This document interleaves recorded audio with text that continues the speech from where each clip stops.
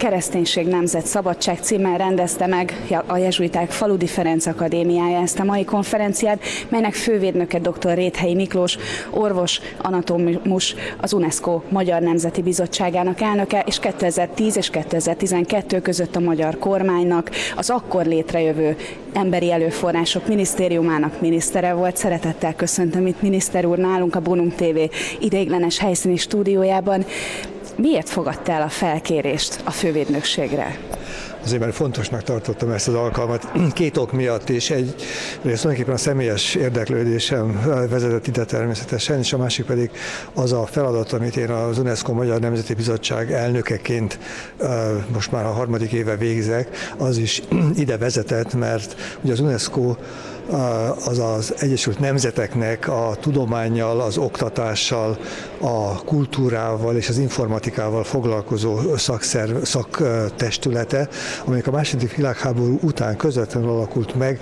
Az embereknek elege volt a öt éves egymás ellen küzdni küzdelemből, és, és másképp akarták az életüket élni, és ezeket a területeket, amiket előbb felsoroltam, ezeken kívánták azokat a kapcsokat megtalálni, ami emberek között, nemzetek között, földrészek között egy más jövőt biztosít. És ahogy most itt hallottuk az első előadásokban is, valamikor a történelmünkben, Európa történelmében kikapcsolták a vallásos kérdést, azt, hogy a, a, a hitbeli meggyőződést, a vallásos magatartást, vallásos gondolkodást, azt a magánéletbe szorították.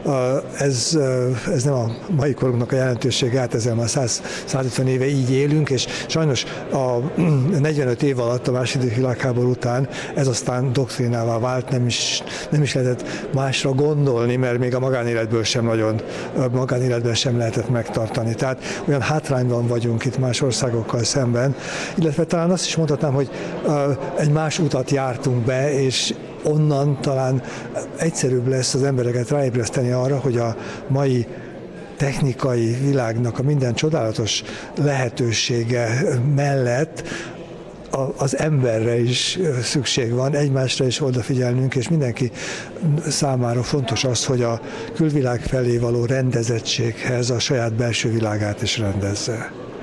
És végül is az UNESCO-nak is ez a feladata, hogy ezek között a területek között az oktatás, ami hát az egész életre szól, hát az óvodában kezdődik már, sőt, hát otthon kezdődik minden társasági megjelenés előtt.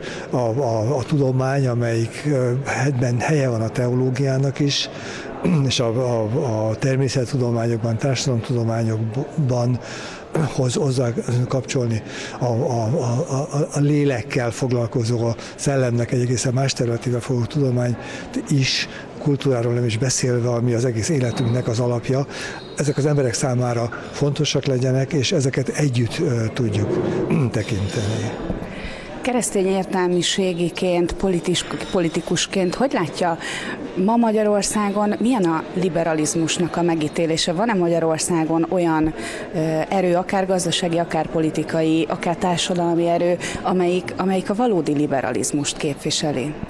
Azt hiszem, hogy mindannyian születésünktől fogva liberálisan gondolkodó, hát a, mindjárt a bevezetőben ezt hallottuk, hogy a liberalizmus az a szabad gondolkodás. Na most gondolkodunk, tehát van agyunk, és ennek következtében minden egyén egy liberális egyén, és akkor, hogyha ezt a gondolkodást hagyják természetesen alakulni, és segítenek is még hozzá, olyan egy családi légkör, olyan az iskola, olyan a, a, a, az egész társadalomnak a légköre, hogy gondolkodásra készteti az embereket, csak így működünk. Na most pontosan ez volt a már említett 40-45 éves időszaknak a, a, a, a a, jelszava, hogy mindenről gondoskodnak, neked nem kell gondolkodnod, cipőt a cipőboltból, és semmi, semmi. Az élet az ilyen egyszerű szakaszokból áll, örömből, munkából, 8 óra ez, 8 óra az, 8 óra amaz, kiszolgálunk.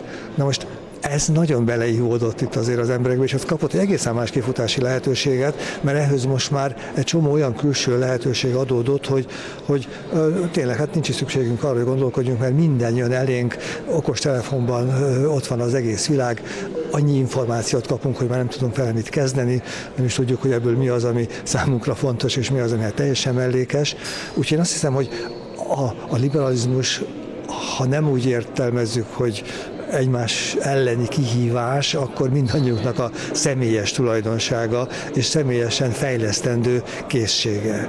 Na most, hogy ez hogy illeszkednek társadalmi rendszerekbe, kormányzati politikába, ott már nyilván a politika beleszól, és, és talán nem mindig a jó értelembe szól bele, mert a gondolkodásnak az lenne a megjelenése, hogy utána a két gondolkodó ember, vagy több gondolkodó ember leül, és a gondolataikat próbálják összehangolni. És a gondolatokban vannak ebbe az irányba és abba az irányba húzó dolgok, és mindenki megtalálja a helyét, hogy hol érzi magát jól, milyen közösségben, milyen közösséget épít, hogyha ha egy tanult emberként emberek vannak rábízva. Egy orvos hogy végzi a munkáját a szakmai tudása mellett, tehát mennyire érzi az együttérzést a betegeivel szemben, a munkatársaival szemben, ki hogy képzi magát a szakmájában, egyéb dolgokban. Hát ez, ezek mind olyan személyes döntések és kérdések, amelyeket egy liberális agy nélkül, tehát egy gondolkodó agy nélkül nagyon nehéz lenne megoldanunk és ebből a magyar közéletben mennyi van benne, én nagyon bízom benne, hogy akik azért a közéletben ott vannak, azokat természetesen szorítja egy csapathoz tartozásnak a kötelezettsége, de pontosan egy ilyen konferenciának is az lenne az értelme, hogy ezek a csapatok tudjanak egymásról, elfogadják azokat az értékeket. Én, én nagyon örömmel hallottam 13. Leo pápáról most az utolsó mondatokat, hogy, hogy ő 150 évvel ezelőtt már a párbeszédet kereste úgy, hogy megvannak a játékszabályok. Tehát a helyesen értelmezett döntés, a helyesen értelmezett lelkiismereti szabadság, igen, mert, mert manapság itt, itt vannak a nagy gondok, hogy, hogy szétfutottak a határok. Tehát nincs már, nincs szülői tekintély, nincs családi hagyomány, vagy legalábbis nagyon sok esetben hiányzik. Ebben az irányban kellene azt hiszem erősödnünk, tehát a mindazt, ami jó a jelenlegi technikába, azt valahol az eddigi értékekre, beleértve mondom a családi értékeket, a különböző felekezeteknek az értékeit, azt a, a zsidó keresztény örökséget, amelyik Európát Európává tette, ezt, ezt vegyük komolyan, és, és ebben valóban helye van annak a az Istenképnek, ami hát megint csak nem zárható ki a, a, az emberiség életéből. Hát bízunk benne, hogy itt Magyarországon is egyre erősödik majd a párbeszéd, egyre erősödnek ezek a keretek, amikről itt most beszélt nekünk a miniszter úr. Nagyon köszönjük, hogy elfogadta a felkérést a fővédnökségre, és köszönjük, hogy itt volt velünk a stúdióban. További jó és értékes konferenciát kívánunk önnek. Köszönöm szépen ezt a lehetőséget, és nagy élvezettel vagyok itt, meg kell, hogy mondjam.